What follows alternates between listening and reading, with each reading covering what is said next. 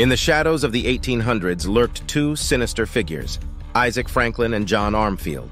They weren't just slave traders, but masters of a despicable trade in human lives. Together, they controlled the fancy girl market, trading 10,000 individuals like commodities. A chilling fact emerged. A light-skinned fancy girl could fetch a staggering $2,000. For context, that was equivalent to a skilled craftsman's 10-year earnings. Think about the power that money held. 500 acres of land, five prime horses. To Franklin and Armfield, slaves were mere property, and fancy girls, symbols of status. They viewed these women as the Louis Vuitton handbags of their dark era. Their cruelty knew no bounds, especially towards the vulnerable women in their grasp.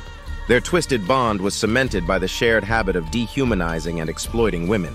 Step into their world, where greed and cruelty reign supreme, shrouded in the guise of wealth.